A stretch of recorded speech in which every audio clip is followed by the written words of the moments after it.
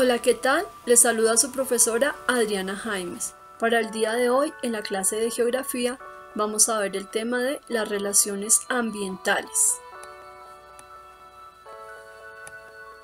Pero no se insegura, nada más. O sea que El medio ambiente es el conjunto de los componentes vivos y no vivos que hacen parte de este planeta. Si hablamos de los componentes vivos, estaríamos hablando de todo lo que tiene que ver con la naturaleza en cuanto a las plantas, los animales y también los seres humanos que formamos parte de los seres vivos. Los no vivos que también complementan a los seres, a los seres vivos, que serían el suelo, el aire, el relieve y el agua. Entonces, la unión de estos dos, de estos dos componentes en el medio ambiente son los que nos conforman las relaciones ambientales, las relaciones que tienen los seres vivos con los no vivos.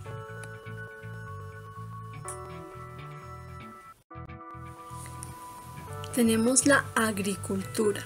La agricultura, como todos sabemos, se realiza en las zonas rurales de Colombia, más exactamente en el campo colombiano.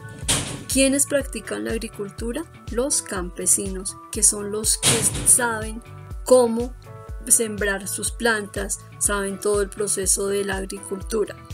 Para el, este es un campo muy importante económico para Colombia. ¿Por qué? Porque es el que produce la alimentación. Colombia posee muchísimos, muchísimos Mm, muchísimos productos agrícolas gracias a que poseemos los pisos térmicos. Entonces se producen mm, eh, alimentos de todos los climas que tiene Colombia. Entonces tenemos esa ventaja.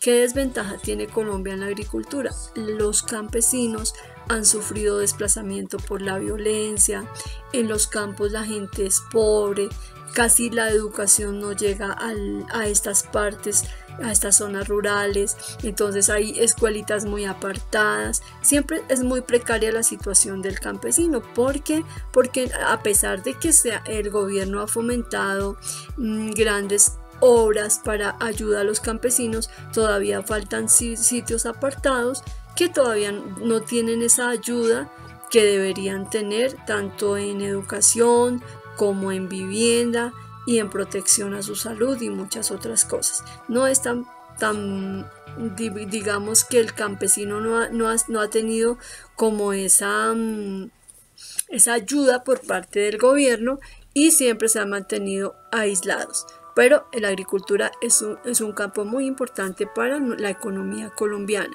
De hecho, eh, Colombia es muy eh, fortalecida en esto porque producimos muchísimos, muchísimas productos gracias a lo que les decía de, eh, los, de poseer los pisos térmicos.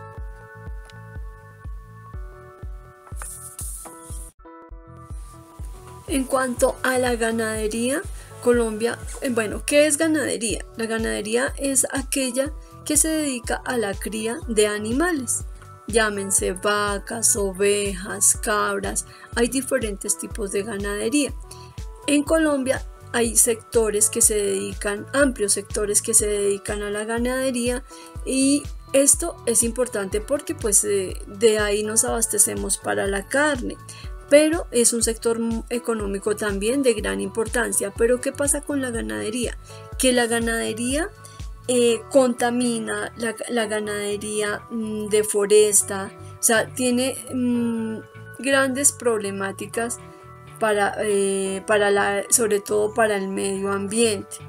Entonces, eh, decimos que mm, un aspecto muy importante es que la pérdida de biodiversidad por la ganadería, el cambio climático y la deforestación.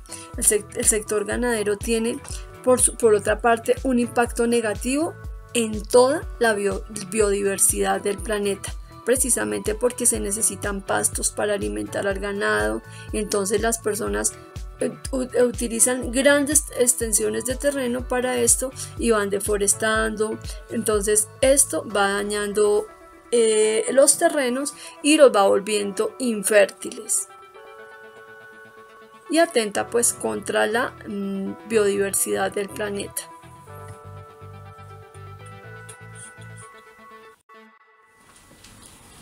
En cuanto a la pesca, se producen a lo largo de las costas del Pacífico y el Atlántico de Colombia, así como en las aguas interiores, especialmente en las principales cuencas de los ríos Magdalena, Cauca, Cesar, en los diferentes ríos internos eh, que tiene Colombia se realiza la pesca. Muchos pueblos que atraviesa, por ejemplo, el río Magdalena que va de sur a norte, viven de la pesca. Entonces es un sector muy importante teniendo en cuenta que es otra forma de economía y que mm, ayuda a muchas personas viven de de este, sector y aparte de todo el pescado pues tiene alto grado de nutrición y proteína.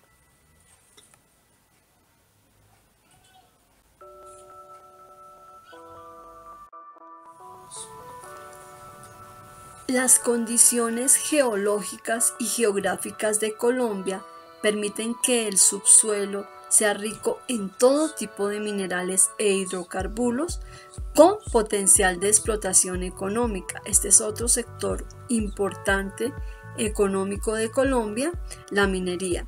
Constituye uno de los principales motores económicos del país en los últimos años.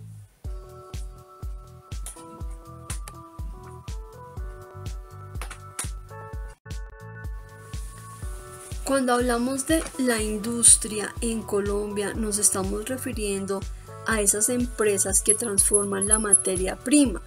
Hay empresas de, de cualquier cantidad de cosas, hay empresas alimenticias, empresas como lo que vemos en la imagen de motores, muchísima cantidad de industrias, pero las industrias no empezaron así. En Colombia las primeras máquinas utilizadas para la industria eran las máquinas de vapor.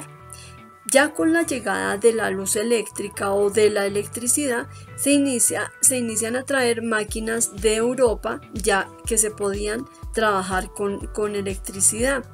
Las primeras empresas en el sector industrial surgieron a finales del siglo XIX y se fueron incrementando ya en el siglo XX, fueron superando. Ya en este momento la industria colombiana es muy importante, también un sector importante económico porque es donde se produce todo. En la industria es donde se transforma la materia prima.